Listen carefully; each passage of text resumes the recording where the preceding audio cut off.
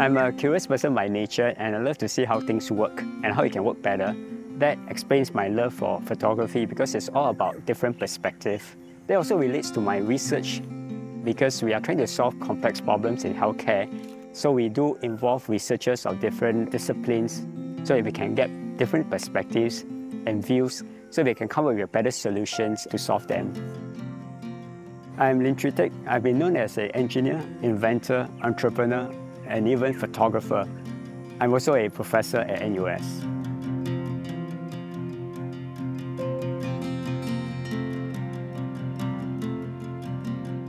I'm actually a mechanical engineer by training.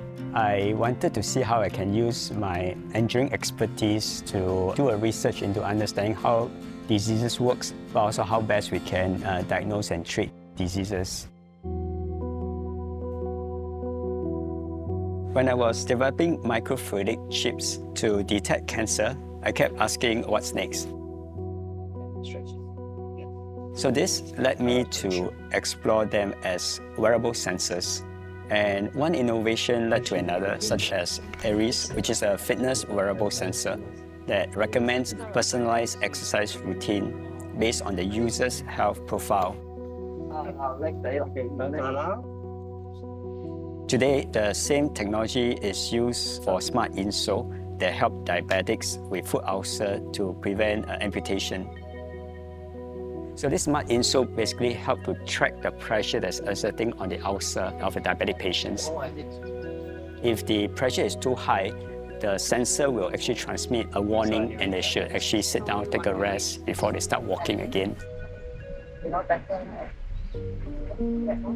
So I'm always trying to come up with better ways to diagnose and detect diseases. And this includes non-invasive ways that are less painful for patients, more effective methods that enable personalized treatment.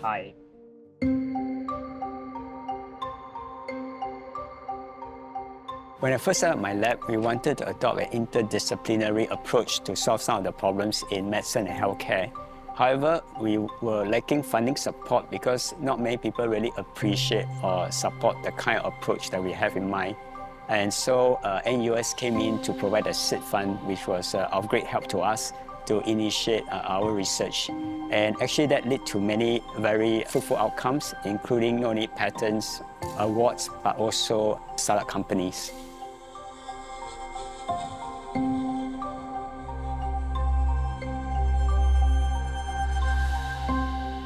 I believe research should benefit the society.